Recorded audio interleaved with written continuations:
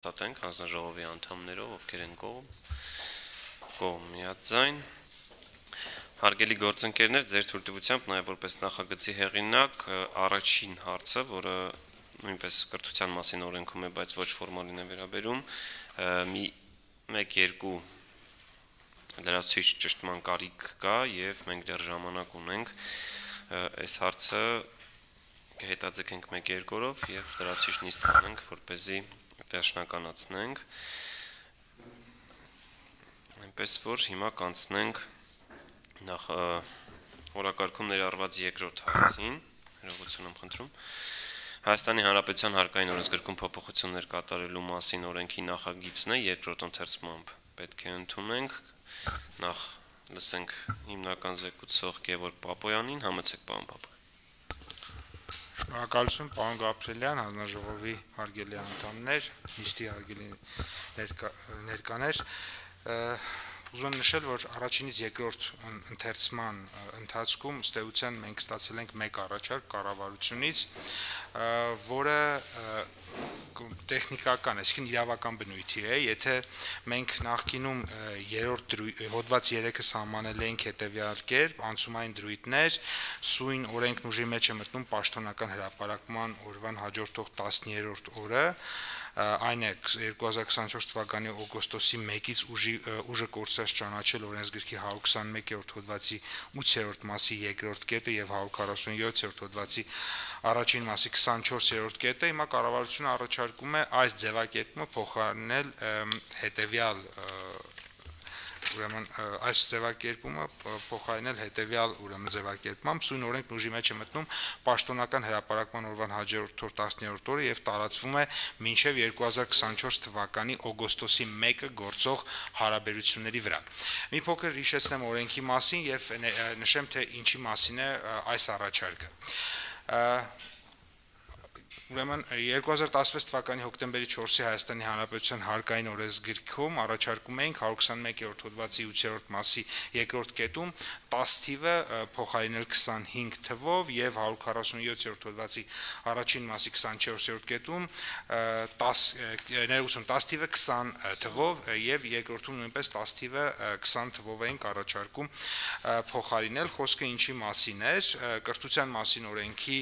28-րդ հոդվածի 6-րդ մասի համաձայն բուհերը տվյալ ուսումնական տարում անվճար ուսուցման համակարգ ընդունված ուսանողների թվի 10%-ի չափով իրենց միջոցների հաշվին ըստ առաջադիմության փոխհատուցում են ներկայումս վճարովի ուսուցման համակարգում ուսանողների ուսման վարձը ըստ ՀՀ կրթության պետական կառավարման լիազոր մարմնի հաստատած մասնագիտությունների հատկացված տեղերի քանակի Միևնույն ժամանակ Բարսագույն եւ հետբուհական մասնագիտական կրթության մասին օրենքի 6-րդ հոդվածի 4.1 մասի համաձայն բուհե վճարովի համակարգում սովորող ուսանողական համակազմի առնվազն 10%-ին ուսանողների վարձավճարից գոյացած բյուջեի առնվազն 7%-ի չափով իր միջոցների հաշվին հիմք ընդունելով բարձր առաջադիմություն սոցիալական խումբը իրականացնում է ուսանողական նպաստի ձևով ուսման վարձի մասնակի փոխհատուցում։ Այստեղ պետք է նշել, որ սա այսինքն կրթության մասին օրենքում որոշակի այսպես նվազագույն շեմեր են սահմանված, մասնավորապես 10%-ի նվազագույն շեմն է սահմանած, բայց միևնույն ժամանակ հարկային օրենսգրքում ըստ էության բուհի ուսանողական համակազմի միջև 10%-ի ծառայության մատուցման հետ կապված ծախսերն է ուրեմն փոխհատուցվում եւ ուրեմն շահութահարկի մասով եւ եկամտային հարկի մասով, այսինքն միտեղ մի դեպքում մենք կրթության մասին օրենքում ունենք բուհերի արժեվ դրվող նվազագույն պահանջ 10%-ի, մյուս դեպքում ունենք հարկային օրենսգրքում առավելագույն պահանջ 10%-ի, մենք առաջարկում ենք հարկային օրենսգրքում այդ առավելագույն պահանջը 10%-ի բարձրացնենք մինչև 20%, ինչը պոտենցիալ հնարավորություն է տալիս պոտենցիալ է այսօրվա մինչև 7000 ուսանողի, որոնք մոտավորապես կարող են ստանալ անարգել այսպես ասած զեղչեր եւ դա նոր հարկային պարտավորություն չստեղծի բուհերի համար, այդ թիվը մինչև 14000-ի ավելացնենք։ Այսինքն կարելի է ասել, որ զեղչ ստացող ուսանողների քանակը բուհերը կարող են ավելացնել երկու անգամ, դրա փոխարեն իրենց հարկային պարտավորությունները ըստ էության այդ մասով չեն ավելանում եւ մեր առաջարկի էությունը հենց դրա մասին էր, այսինքն բուհերը եւ բուհերը եւ պետությունը, կառավարությունը իրար հետ համատեղ հնարավորություն են տալիս ավելի շատ ուսանողների զեղչ ստանան, իսկ ովքեր են լինելու այդ ուսանողները, այդ ուսանողները լինելու են բարձր առաջադիմություն ունեցող այն ուսանողները, ովքեր որ սոցիալական խնդիրներ ունեն, ովքեր պատերազմի պատերազմին են մասնակցել, այսինքն սա կառավարության քաղաքականության այն տրամաբանության մեջ է, որ ոչ մի ուսանող վարձավճարի պատճառով, եթե ինքը լավ սովորող ուսանող է, չի դուրս չի մնալու բուհերից եւ սա նաեւ այդ նույն շարքի մեջ է, այսինքն պետությունը իր մասով որոշակի հարկերից ազատում է բուհերին, բուհերն էլ իրենց հերթին որոշակի զեղչեր են իրականացնում եւ դա հնարավորություն է տալու պատերազմին մասնակցած սոցիալական խնդիրներ ունեցող եւ այլ ուսամանամերձ ուրեմն գյուղերից եւ սահմանամերձ բնակավայրերում ապրող բնակվող ուսանողներին ստանալ զեղչեր եւ դա հնարավորություն կտա ստեյության նրանց անարգել շարունակել իրենց կրթությունը։ Տերևս սրա մասին էր, այո, եւ վերադառնալով առաջարկին, ըստեյության առաջարկը ինչի մասին է, ասում է, որ եթե մինչեւ ուրեմն 24 թվականի օգոստոսի 1-ը ուսանողը օգտվում է այս համակարգից, իր իր համար դեռևս կշարունակի այս համակարգը գործել, քանի դեռ ինքը ուսանող է, բայց եթե օգոստոսի 1-ից հետո է ուսանող գործող դարձել։ Արդեն այդ համակարգը իր համար չի գործի եւ կգործի նոր համակարգ, որի մասին մենք հրաապարակային խոսել ենք ազգային ժողովի ամբիոնից, կառավարությունը կանի համապատասխան առաջարկը հանդես կգա եւ այլ մոտեցում դե կունա, մասնավորապես այդ դեպքում մի փոքր կարող են փակագծերը բացել, կառավարությունը ուղակի կֆինանսավորի այդ ուսանողներին Դերևս այսքանը շնորհակալություն հարցերի դեպքում սիրով պատասխան։ Շնորհակալ եմ հարցեր կան պարոն Պապյանին, համեցեք պարոն ասել։ Շնորհակալություն, պարոն Պապյան։ Այս վերջի ասած արտահայտության մեջ, որ պետությունը ուղղակի ֆինանսավորի դա որոշակիորեն կապվում է նպատակային ուսուցման հետ։ Շնորհակալություն։ Այո, ընդհանուր ընդհանուր առմամբ նաև օրենքների փոփոխության համատեքստում տեղի ունենալու առհասարակ բովանդակային փոփոխություններ եւ այդ բովանդակային փոփոխություններից հետո նաև ըստ էության գործող մի շարք օրենսդրական կարգավորումներ իրենց իմաստն էլ նաև կկորցնեն եւ այդ համատեքստում այո նաև կառավարությունը ուղակի ոչ թե հարկային աջակցություն կտա բուհնել իր հերթին այդտեղից կհանի այդ չափով զեղչեր կտա, այլ ուղակի կառավարությունը այդ նույն փոխհատուցումը կտա բայց դետալներ են որոնք որ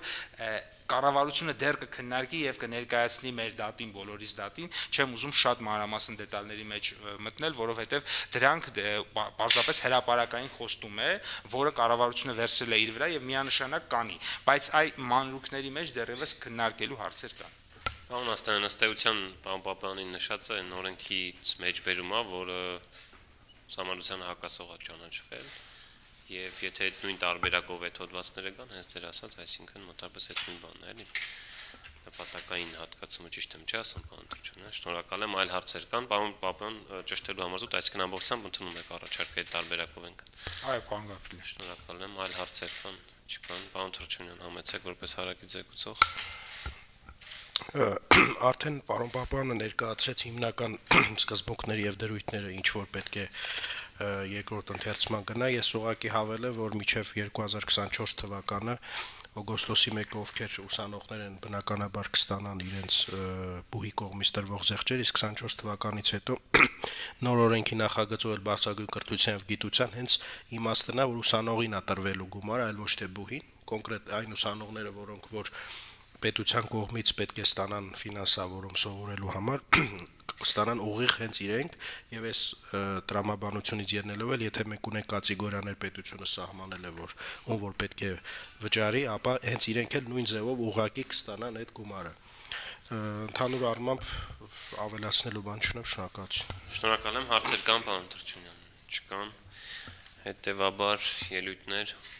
չկան շատ լավ այդ դեպքում քննարկումը ավարտվեց, մեզ մնում է քվեարկել, քվեարկության է դրվում Հայաստանի Հանրապետության հարկային օրենսգրքում փոփոխություններ կատարելու մասին օրենքի նախագիծը երկրորդ ընթերցմամբ ընդունելու մասին հարցը կառավարության ներկայացրած առաջարկությամբ, ովքեր են կողմ, կողմ միաձայն, շնորհակալություն պարոն Պապոյան։ Եվ մենք անցնում ենք օրակարգի երրորդ հարցին, նախադպրոցական կրթության մասին օրենքում փոփոխություններ եւ լրացումներ կատարելու մասին օրենքի նախագիծն է կրկին երկրորդ ընթերցմամբ։ ներկայացրել է կառավարությունը հիմնական զեկուցող Կրթության, գիտության, մշակույթի եւ սպորտի նախարարի տեղակալ Ժաննա Անդրեասյան, համեցեք Տիֆին Անդրեասյան։ Շնորհակալություն, պարոն Գաբրելյան, հարգելի գործընկերներ, ներկայացնում եմ նախադեպրոցական կրթության մասին օրենքում փոփոխություններ եւ լրացումներ կատարելու մասին օրենքի նախագիծը երկրորդ ընթերցմամբ առաջինից երկրորդ ընթերցման ընթացքում կառավարության կողմից ներկայացվել են մի շարք առաջարկներ, որոնք հիմնականում խմբագրական բնույթի են եւ վերաբերում են նորմատիվ իրավական ակտերի մասին օրենքին համապատասխան որոշ դրույթների խմբագրված ներկայացմանը ինչպես նաև ուրեմն հոդված 4-ի 24-րդ կետի համար, որտեղ կար իմպերատիվ լիազորող նորմ, որ սահմանում է համայնքային նախադպրոցական ուսումնական հաստատությունների մանկավարժական աշխատողների տրանսպորտային ծառայությունների դիմաց փոխհատուցման կարգը, այս նորմը խմբագրված տարբերակով է առաջարկվել, ներառել նախագծում կարող է սահմանել տարբերակով որը ըստ էության որոշակի ճկունության տեղ է թույլ տալիս ըստ իրավիճակի առաջնորդվելու եւ սա նույնպես ներառված է կառավարության առաջարկությունների մեջ։ Բացի դրանից ստացվել էին երկու падգամավորական առաջարկություն, որի մասով թույլ տվեք ներկայացնել կառավարության դիրքորոշումը։ Մեկը ներկայացված էր падգամավոր Լիլիթ Գալստյանի կողմից, որով չափորոշչի սահմանման մեջ առաջարկեր արված ներկայացնել նաև դաստիարակության բաղադրիչը եւ դաստիարակություն բառը այս առաջարկությունը մենք կառավարության դիրքորոշմամբ առաջարկում ենք չընդունել, որովհետեւ կրթությունը ըստ էության սահմանվում է իբրև նպատակաուղված ուսուցման եւ դաստիարակության անընդմեջ գործընթաց, ուստի դաստիարակությունն առանձնացնելը դրա մեջ նպատակարար չեն գտնում եւ նույն ժամանակ նախադպրոցական կրթության պետական կրթական չափորոշիչում հստակ սահմանված է, որ կարողունակությունները նախադպրոցական տարիքի երեխաների կողմից ուսումնառության եւ դաստիարակության գործընթացում ձեռք բերված գիտելիքի հմտությունների արժե արժեքների եւ դիրքորոշումների հիման վրա ըստ իրավիճակի արդյունավետ ու պատշաճ արձագանքելու ձևեր են եւ նախադպրոցական տարիքի երեխաների կարողունակությունները ձևավորվում են ուսուցման եւ դաստիարակության կազմակերպման միջոցով։ Կարծում ենք, որ չափորոշչում այս նկարագրությունը բավարար չափով դաստիարակության բաղադրիչը ներառում է, ուստի անհրաժեշտություն չեն գտնում լրացուցիչ այստեղ եւս դա շեշտադրելու եւ մյուս падգամավորական առաջարկությունը ստացվել էր падգամավոր Արմեն Գևորքյանի կողմից, որով առաջարկ էր արվել, որ 6-րդ հոդվածը շարադրվի այն խմբագրությամբ, որ օրենքը ուժի մեջ մտնի օրենքի 4-րդ հոդվածով սահմանված պահանջների կատարման համար անհրաժեշտ ֆինանսավորման չափը Հայաստանի Հանրապետության տարեկան պետական բյուջեի մասին օրենքում ամրագրելու եւ դրա ուժի մեջ մտնելուց հետո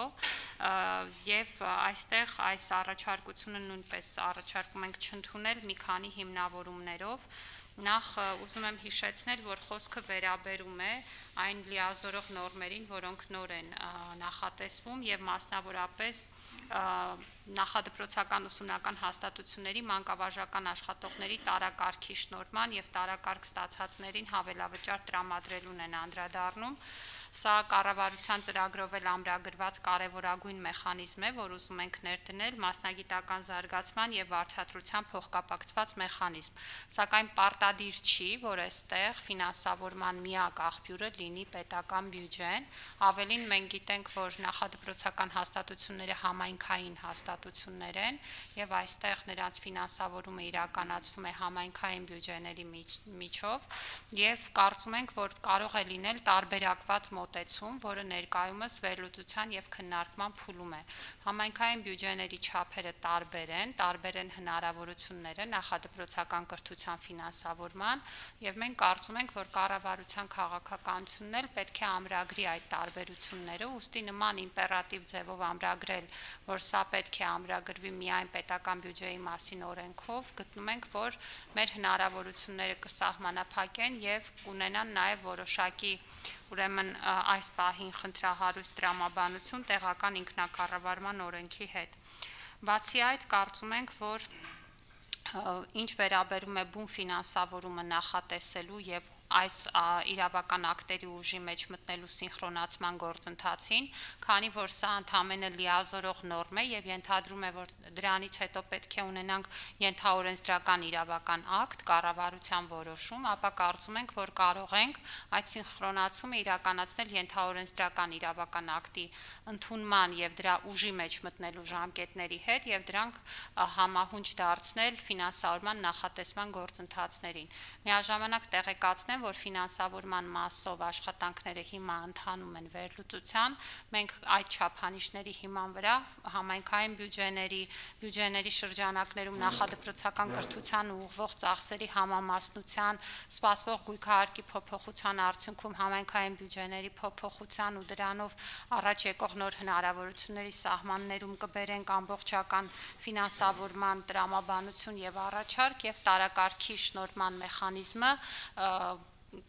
կաշխատեցնենք այն փուլում, երբ որ այդ ֆինանսավորման գործընթացը հստակեցված կլինի, բայց քանի որ սա բավականին երկարատև process է լինելու,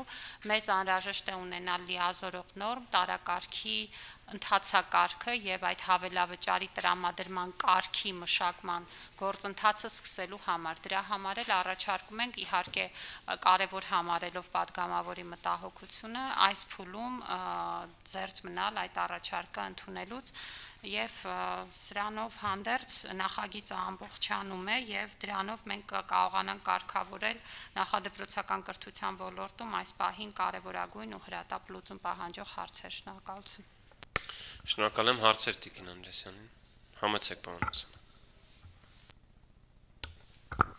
Տիկին Անդրոսյան, նախադպրոցական կրթության մասին օրենքում նախատեսվում էր մի դրույթ, որ այն համայնքներում, այն բնակավայրերում, որտեղ մեծամասնությունը ապրում են ազգային փոքրամասնության ներկայացուցիչներ, այդ երեխաները կարող են օգտագործել նաև իրենց մայրենի լեզուն։ Ես ուզում եմ իմանալ, դա իրագործվում է, թե չէ։ Շատ կարևոր հարց եք բարձրացնում։ Այս պահի դրությամբ մենք ճունենք նման իրավիճակ, որ ազգային փոքրամասնությունների լեզվով նախադպրոցական կրթությունը իրականացվի, բայց օրենքը այդ հնարավորությունը ընձեռում է եւ գիտեք ուրեմն կառավարության ծրագրով սահմանված է 500 նախադպրոցական հաստատությունների կառուցման հիմնանորոգման վերանորոգման աշխատանքներ դրա շրջանակներում ներառված են նաև նախադպրոցական հաստատություններ ազգային փոքրամասնություններով առավելապես բնակեցված բնակավայրերում եւ մենք շատ պատրաստակամ ենք օրենքի մակարդակում այդ հնարավորությունները կան համայնքների հետ համագործակցաբար այդ հնարավորությունները նախատեսել եւ իրականացնել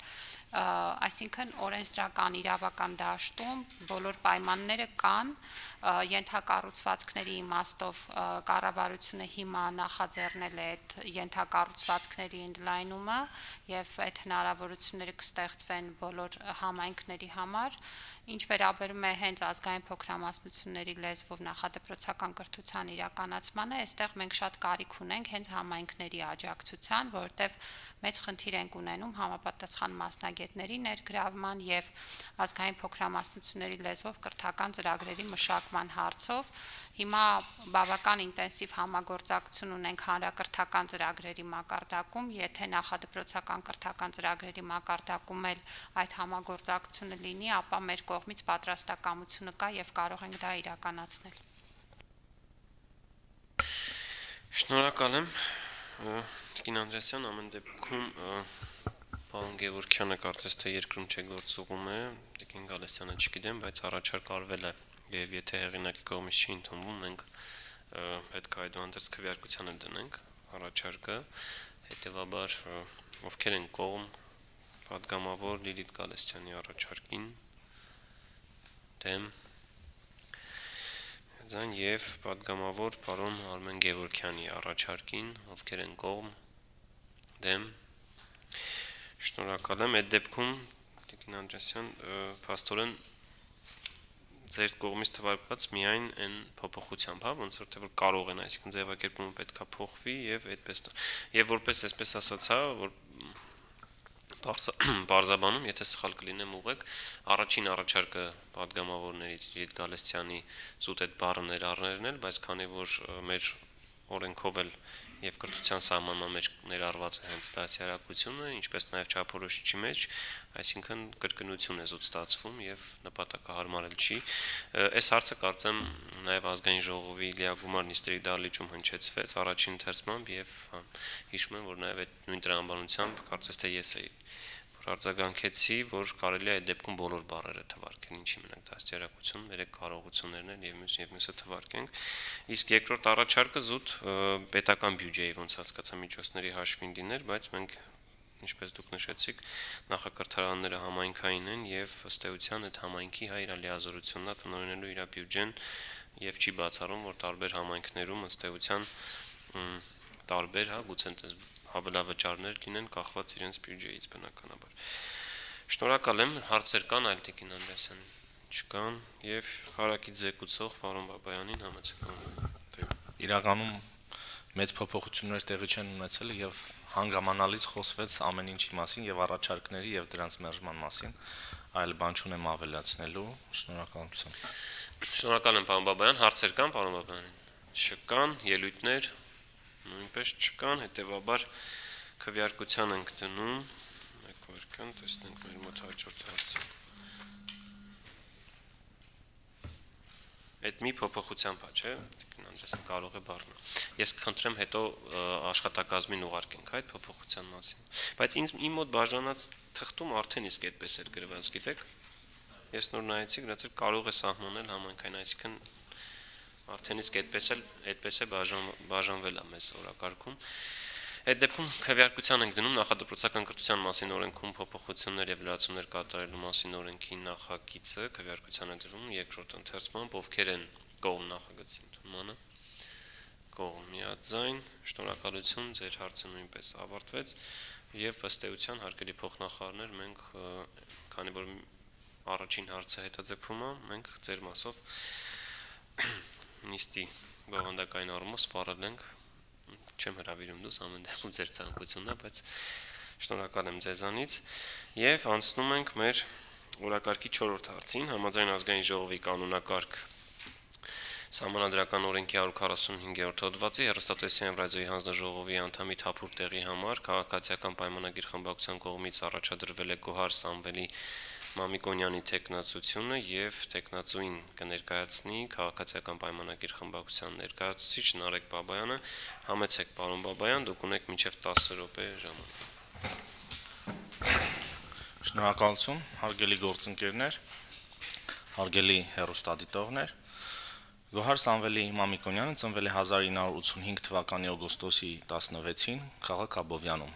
2002-ից 2006 թվականներին սովորել է ԵՊՀ միջազգային հարաբերությունների ֆակուլտետի քաղաքագիտության բաժնում։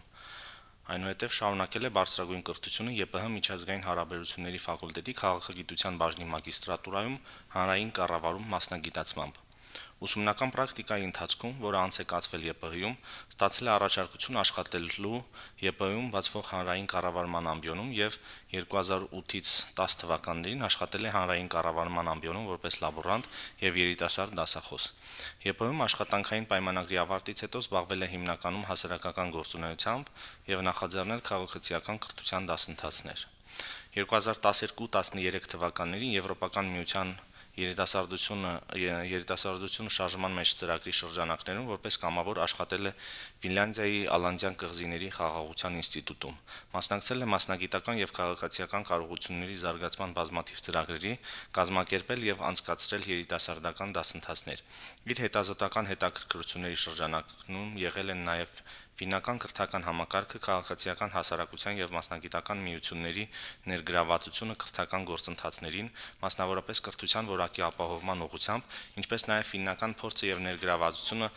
խաղաղաշինական գործընթացներում եւ գենդերային հավասարությունը ֆինական հասարակությունում եւ դրա ազդեցությունը հասարակության եւ պետության առընչընթացի վրա։ 2014 թվականին աշխատանքի է անցել Հայաստանում Եվրոպական համալսարանում որպես հավատարմագրման գործընթացի պատասխանատու,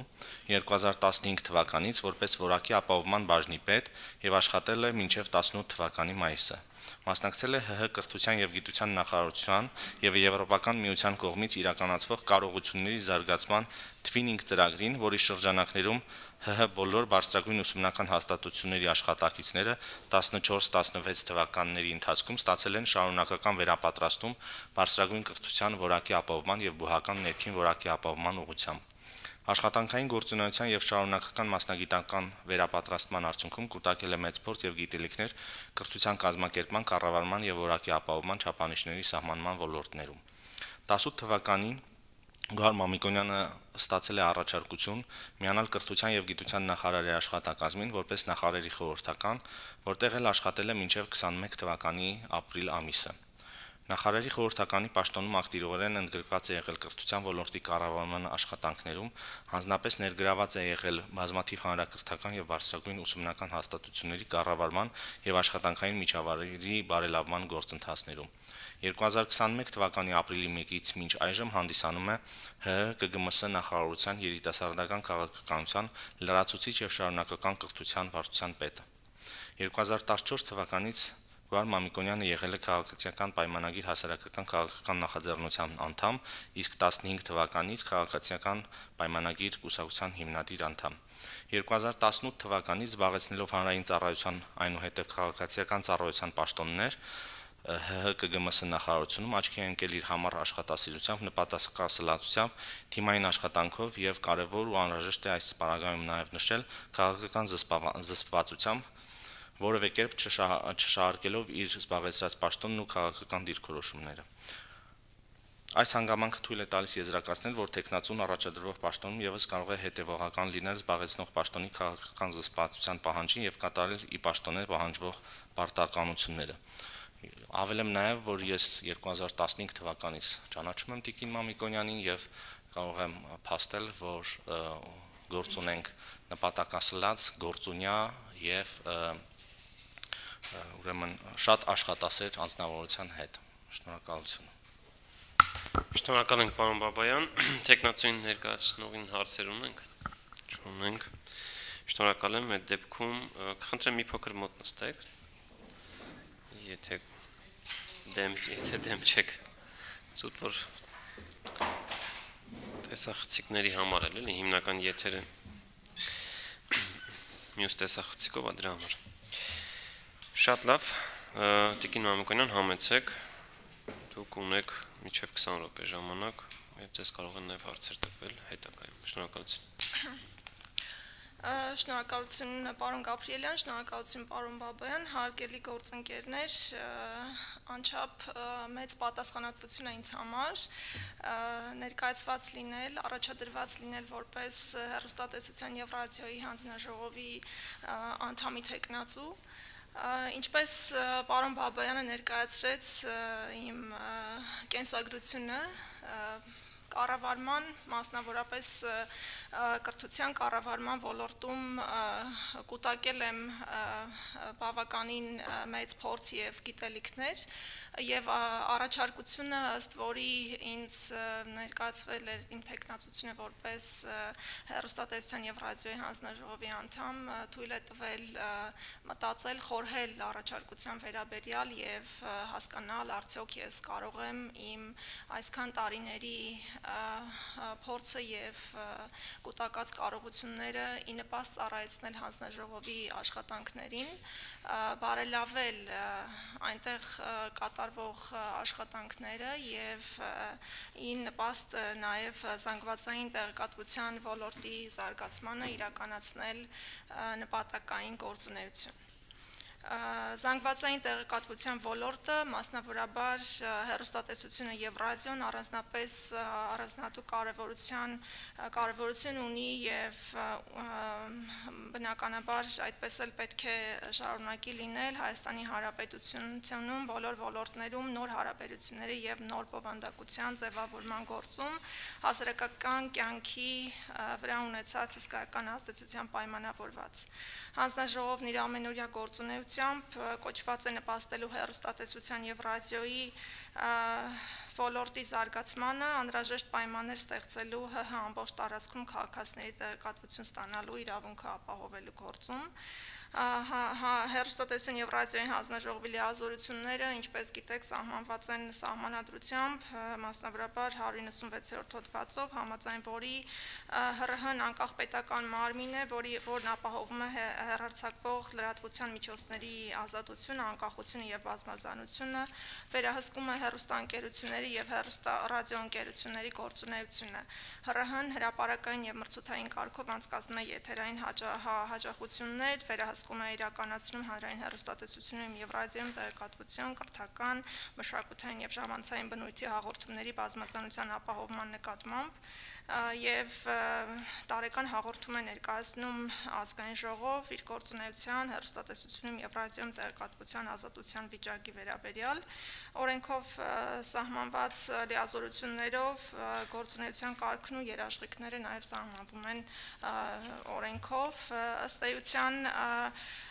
այն գործառույթները, որի շրջանակներում հանձնաժողովը որպես կարգավորող մարմին գործում է, կոլեգիալ մարմին է եւ իր գործունեությունը իրականացնում է օրինականության, ժողովրդավարության, հավասարության, անաչառության,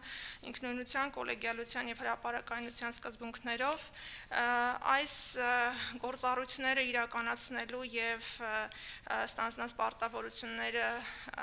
սահմանված սկզբունքներով իրականացնելու ուղղությամբ իմ դիրքորոշումը եւ տեսակետը ներկայացված տեխնացությանը եղել է դրական եւ կարծել եմ, որ կարծում եմ կարող եմ նշված սկզբունքների շրջանակներում գործունեություն ծավալել հերոստատեսության եւ ռադիոյի հանձնաժողովում եւ ներկայացնել առաջարկություններ, մասնակցել կոլեգիալ մարմնի խորհրդակցություններին եւ որոշման կայացման գործընթացին ես անչափ կարևորում եմ առաջնորդությունը եւ թիմային աշխատանքի կարողությունների զարգացումը եւ կարծում եմ, որ բոլոր մարմինները հանրային ծառայություն իրականացնող կարիք ունեն աշխատակիցների եւ որոշում կայացնողների շրջանում առաջնորդության եւ թիմային աշխատանքի կարողությունների զարգացման եւ խորապես համոզված եմ, որ նմանատիպ հատկանիշների եւ կարողությունների զարգացմամբ է, որ պետական եւ հանրային ծառայության մարմինները օրենքով սահմանված իրենց լիազորությունների շրջանակներում կարողանում են գործել եւ հանրային ի նպաստ հանրային շահի եւ հանրային օգուտի կայացնել որոշումներ եւ կարծում եմ, որ իմ մասնագիտական կարողությունները այլ ուղությամբ ի նպաստ կլինեն հանձնաժողովին նաև պայմանավորված նրանով, որ հանձնաժողովին անհրաժեշտ է, կարևոր է այլ տեսակետ ստանալ եւ այլ դիրքորոշմամբ եւ կարողությունների ներգրավումը միայն ի նպաստ կլինի հանձնաժողովի որոշումների կայացմանը օրենքի օրենքի ուսումնասիրության եւ հանձնաժողովի տարեկան գործունեությունների ուսումնասիրության ժամանակ ես ձևավորեցի նաեւ իմ որոշակի դիրքորոշումներ, որոնք կցանկանամ ներկայացնել հանձնաժողովին ապագայում, եթե գլխադասային հանձնաժողովը եւ ազգային ժողովի լիագմար նիստը ինձ տա այդ հնարավորությունը ընտրվելու հանձնաժողովի անդամ Մասնավորաբար, եթե հետաքրքիր է, կարող եմ 1-2 դիտարկում ներկայացնել օրենքի հետ կապված, որը ես ուսումնասիրում է եւ կարծում, որ անհրաժեշտություն կլինի գուցե նաեւ ապագայում քննարկելու օրենքը սահմանում է հանրային հերարցակողների կարգավիճակը եւ գործունեության սկզբունքները եւ ինձ մոտ տրամաբանորեն այսպես խնդիր է առաջ առաջանում, թե ինչու է միայն հանրային հերարցակողներին պարտադրվում իրականացնել որոշակի գործողություններ, մասնավորաբար ապահովել հերարցակվող տեղեկատվական, կրթական, մշակութային, ժամանցային բնույթի հաղորդումների բազմազանությունը, մշակել եւ իրականացնել ծրագրային քաղաքականություն, հասարակական առավել հնչեղություն ունեցող տեղեկատվական հերարցակման համար եւ այլն ըստ էության հանրային հերարցակողները հերարցակողների մի հատվածն են եւ հանրային օգուտը պարտավոր են իրականացնել ոչ միայն հանրային հերարցակողները, այլ բոլոր հերարցակողները եւ կարծում եմ այս առումով իմ առաջարկությունը կկայանա նրանում, որ ոչ միայն հանրային հերարցակողներին, այլ նաեւ այլ մասնավոր հերարցակողներին տրվի լրացուցիչ հնարավորություն պետության համար կարևորություն ներկայացնող ծրագրերի եւ բովանդակությունների իրականացման համար ստանալ լրացուցիչ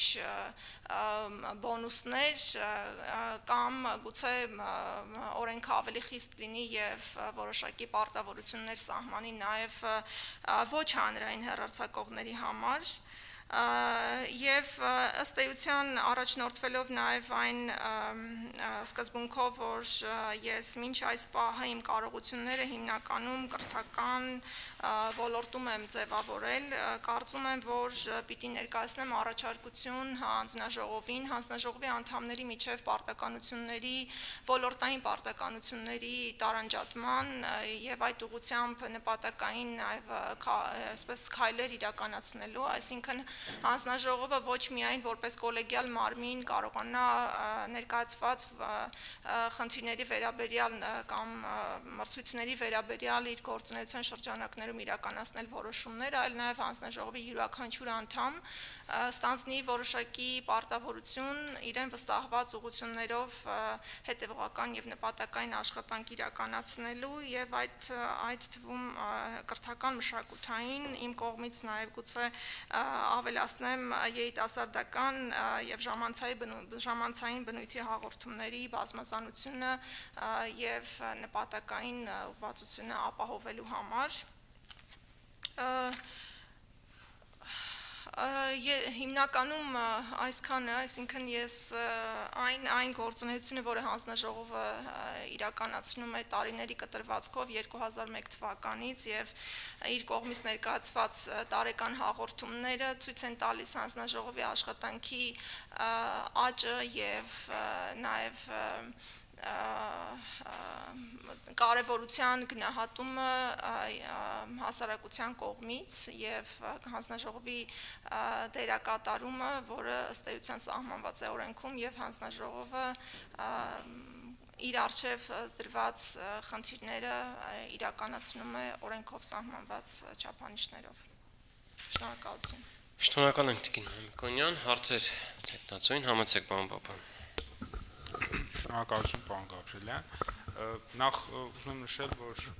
ես ողջունում եմ Տիկին Մամիկոնյանի տեխնացիությունը եւ լիագումար նիստում իհարկե մեծ հաճույքով եւ պատրաստականությամբ կքվեարկեմ ձեր տեխնացիան օկտին, որ ես ուզում եմ ձեզ հարց տայի, դուք հարցի մի մասին ըստ էության պատասխանեցիք, ես շարունակեմ երկրորդ մասը։ Տեսեք, հանրաժողովը բավականին նո այսպես ասած ունի գործիքակազմ եւ փորձում է իր գործիքակազմի շրջանակում նաեւ հանրային խոսույց արհեստական նո մծրած նաեւ ինչ որ շրջանակների կողմից այդ հայոյախոսության դեմ պայքարի եւ վերջերս միտուգանք եղավ ուրեմն հերոստանգերություններից մեկի նկատմամբ ով այդ հայոյախոսությունը ըստ էության հանրայնացնելու ամենաբարձր մակարդակեր բարձրացրել բայց այդ նույն շրջանակի կողմից ոչ միայն հանրային հերարցակողների, այլև իրենք տիրապետում են բազմաթիվ մեդիա այլ ռեսուրսների, օրինակ նույն YouTube-յան էջեր, կայքեր եւ այլն եւ այլն, որոնք որտեղ որ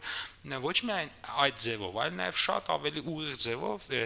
այդ շրջանակը, այդ հայոյախոսությունը տարածում է։ Հիմա ստացվում է, որ հանրաժողովը ինչ որ սահմանափակ շրջանակում, օրինակ, չգիտեմ, լավ, կարողացավ հերոստանգերությունը ասել, որ նա չանի։ Նա դու գանես նայել այլևս չի անի, բայց այդ նույն մարդիկ դիրապետում են տասնյակ ուրեմն մեդիա այլ ռեսուրսների, որտեղ որոնց դիտողականությունը այդ նույն հերոստալիքի համեմատ տասնապատիկ ավելի շատ է։ Եվ իրենք այդ նույն հայոյախոսությունը տարածում են այնտեղ շատ ավելի մեծ ագրեսիվ ձևով եւ ավելի հաճույքով, այսպես ասեմ, եւ անարգել։ Այ այստեղ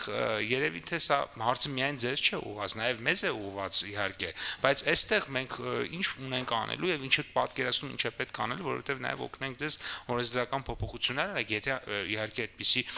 հնարավորություն կա, պետք է քննարկել իհարկե մասնագիտական գլխադասային հանձնաժողովը ավելի բնականաբար ավելի մասնագիտացված կարծիք ունեն եւ ընդհանրապես ձեր հանձնաժողովը որտեղ դուք եք պատրաստվում գնալ, բայց ես կարծում եմ որ մենք այստեղ խնդիր ունենք, որովհետեւ եթե այդ նույն ասում եմ հերոստա ալիքը դիտում է 1000 հոգի, չգիտեմ 1000 երեխա, այդ նույն կայքը կարող է մտնել 10000 երեխա կամ 10000 քաղաքացի եւ միևնույն է մեր քաղաքացիները անպաշտպան են այդ հայրախոսության հանդեպ Պարոն Պապոյան, շնորհակալ եմ հարցադրման համար։ Ըստ էության իմ ուսումնասիրությունների ժամանակ ես հանգել եմ նաև այդ կարծիքին, որ այդ ոլորտը ինտերնետային ալիքները, որոնք տեսալսողական մեդիայի բոլոր բաղադրիչները ունեն, օրենքով որևէ կարգավորում չեն ստանում, ըստ էության այդ հարցին անդրադառնալու անհրաժեշտություն ունի եւ հանձնաժողովը եւ օրենսդրական մարմինը եւ կարծում եմ որ այդ առումով հանձնաժողովը կներկայացնի իր առաջարկությունները օրենքում հնարավոր լրացումներ իրականացնելու ուղղությամբ երբ որ ես նշեցի, որ հանրային հերարցակողը չի միայն պատասխանատու հանրային օգուտի ձևավորման համար, նկատի ունեի նաև դա, որ մասնավոր հերոստանգերությունները, որոնք ունեն լսարան եւ քաղաքացիները հետևում են եւ լսում են այն տեղեկությունները, այն տեղեկատվությունը, որը տրամադրվում է բոլոր հեռուստաալիքներով եւ ռադիոալիքներով, այդ թվում նաեւ իրենց YouTube YouTube-յան ալիքներով, միայն տուգանելով եւ որոշակի պատիժներ սահմանելով կարծում եմ հնարավոր չի լինի ամբողջական հարցը լուծել եւ կարծում եմ ես իմ դիրքորոշումը ավելի շատ ուղղված է նրան, որ բոլորին կարողանանք բերել համագործակցության դաշտ եւ հանրային օգուտի ընկալումը կիրառելի դարձնենք բոլորի համար, քանի որ ըստ էության համագործակցությամբ եւ հանրային օգուտի անկալմամբ մենք որպես հասարակություն եւ իրենք որպես մասնավոր տնտեսվարող ավելի շատ օգուտ կստանան իմ դիրքորոշմամբ, քան ստանում են այդ զազրախոսությունները եւ հայհոյանքները տարածելու միջոցով։ Համեցեք բամաբան։ Շնորհակալություն։ Ես մինչ Տիկին Մամիկոնյանին հարց տալը մի փոքր արձագանքեմ պարոն Պապոյանի հարցին, իրականում այդտեղ կարգավորման հնարավորություններ կան, մենք հանձնաժողովի նախագահի եւ անդամների հետ քննարկել ենք այս հարցը եւ այո իսկապես օրենքում փոփոխության կարիք կա քիչ են երկրները որոնք որ ինտերնետային տիրույթը նույնպես փորձում են կարգավորել եւ այսպես թե այնպես միայն կայքերն է որ հաջողվում է բայց այդ մեդիա դաշտը ասենք Telegram ալիքներ եւ այլն շատ ավելի ընդարձակ են այդ երկրների թիվը քիչ է բայց մենք կարող ենք այդ ուղղությամբ գնալ իհարկե նաեւ լրացուցիչ կարողությունների կարիք կա որը ֆինանսի հետ կապ ունի բայց այդուամենայնիվ կարծում եմ որ պետք է դրանով զբաղվենք եւ համատեղ կքննարկենք ես նաեւ ուզում էի հարցնել Տիկին Մամիկոնյան Տեսեք, մենք վերջին ժամանակներս բազմաթիվ ուրեմն տեխնացուների լսեցինք եւ ընտրեցինք եւ կարող եմ ասել, որ հանրության մեջ շատ մեծ ուրեմն տեսակետ կային մասին, այսինքն առաջնային հարցադրումը որ կա հերոստատեսությունների հետ կապված, նաև եւ արդեն նշվեց հայ հոյախոսությունները, ինչպես նաեւ բռնության մշակույթի դուրք տալը, դա ոչ միայն, այսինքն քաղաքական հաղորդումները նկատի ունեմ, այլ շատ ժամանակ ավելի շատ սերիալներ եւ ժամանցային ծրագրեր եւ այստեղ իհարկե նույնպես կարծում եմ կարիք կա։ Համենայն դեպս ընկալումը այնա, որ շատ ավելի խիստ է պետք լինել։ Ես ուզում եմ ուղղակի կիսվել այս ընկալմամբ հանրային եւ նաեւ ձեր ուշադրությունը հրավիրել եւ եթե ունեք այս մասով ասելու բան հիմա ուրեմն հիմա արձագանքեք իսկ եթե ոչ ընտրվելուց հետո ես վստահ եմ որ այս հարցը պետքա ուշադրության կենտրոնում լինի շնորհակալություն Շնորհակալ եմ պարոն Բաբայան, ինչպես առաջին դեպքում նաև բռնության մշակույթի տարածման եւ առհասարակ հասարակությունում վատ երևույթների տարածման եւ վախենում եմ ասել, բայց երբեմն նաև տպավորություն է ստեղծվում, որ քարոզի իրականացման վատ ենթամշակույթը տարածում ունի իմ տպավորությամբ եւ անշուշտ կարգավորող մարմինը այդ ուղությամբ ավելի կոշտ քաղաքականություն իրականացնելու անհրաժեշտություն ունի, բայց ինչպես նշեցի նաև առաջին հարցի դեպքում, ես կարծում եմ, որ հանրային օգուտի ընկալումը միջև չձևավորվի եւ բոլոր հերարցակողները որպես մասնավոր տնտեսվարող չընկալեն դրա կարեւորությունը հանձնաժողովի կոպիտ եւ կոշտ արձագանքը եւ կոշտ մեթոդները պատիժ կիրառելու մեզ հավանաբար այն ցանկալի արդյունքը չեն տա, ինչը որ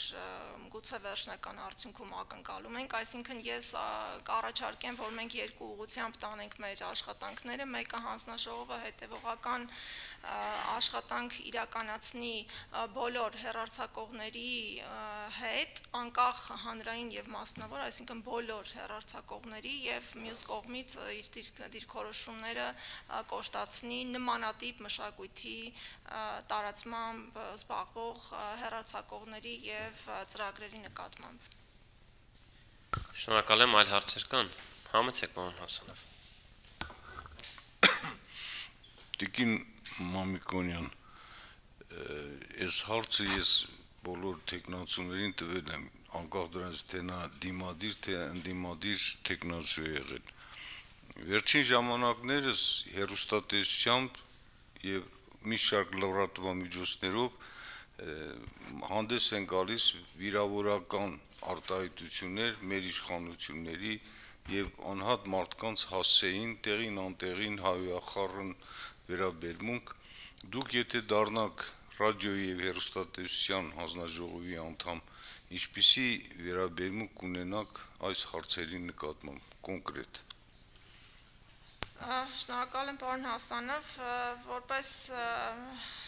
քաղաքական չեզոքություն պահանջող եւ պարտադրող մարմնի անդամ քաղաքական զսպացություն քաղաքական բոլոր հարցերի նկատմամբ պարտավոր կլինեմ դրսևորել բայց ինչ վերաբերում է նմանատիպ մշակույթի տարածմանը կամ կարծիքի արտահայտմանը պետք է ասեմ, որ յուրաքանչյուր քաղաքացի անկախ իշխանության կողմնակից է թե ընդդիմադիր, պետք է հասկանա, որ կարծիքը վերջանում է իր կարծիքը վերջանում է այնտեղ, որտեղ սկսվում է իմ կարծիքը եւ հատկապես եթե այդ կարծիքը պարունակում է զազրախոսություն, հայհոյախոսություն, հերոստա եթերում տեղ զբաղեցնելու որևէ հնարավորություն չպետք է ունենա։ Շնորհակալություն։ Շնորհակալ եմ, այլ հարցեր կան։ Հա, արձագանքեք, պարոն Ասաններովич։ Քանի որ դուք ծնվել եք Աբովյանում, որը իմ ծնդավայրն է, ես հորդորում եմ, որ քվեարկեն ձեր օգտին։ Շնորհակալ եմ, այլ հարցեր կան։ Չկան։ Շնորհակալ եմ ելույթներ նույնպես։ Տիկին Մանկունյան, շնորհակալ եմ ձեր ներկայաց զեկույցի համար եւ ըստ էությամբ ուզում նաեւ շնորհակալություն հայտնել, որ համաձայնել եք այս կարևորագույն պաշտոնում առաջադրվելու, ձեզ հաջողություններ եմ մաղթում։ Ես կարող եմ ըստ էության նաև մեր տեսակետը հայտնել, բայց բնական է, գիտեք, քաղաքացիական պայմանագիրն առաջադրել եւ այդուհանդերձ քիչ հետո կլինի քվեարկություն, ուզում եմ ասել, որ ընտրվելու դեպքում իմացեք, որ հանձնաժողովը միշտ պատրաստ է եւ մենք ունենք շատ լավ աշխատանքային գործնական հարաբերություններ հեռուստատեսության եւ ռադիոյի հանձնաժողովի հետ նախագահի գլխավորությամբ եւ ըստ էության այդ համագործակցությունը ձեր միջոցով ել ավելի հույս ունենանք խորացնենք շնորհակալ եմ այլ ելույթներ չկան հետեւաբար դուք ամեն դեպքում եզրափակիչ ելույթի հնարավորություն ունեք, եթե ուզում եք որևէ բան ունեք ավելացնել, չէ՞։ Շատ լավ։ Այդ դեպքում հարգելի գործընկերներ, հանձնաժողովի անդամներ հատկապես, որտեղ քվեարկում ենք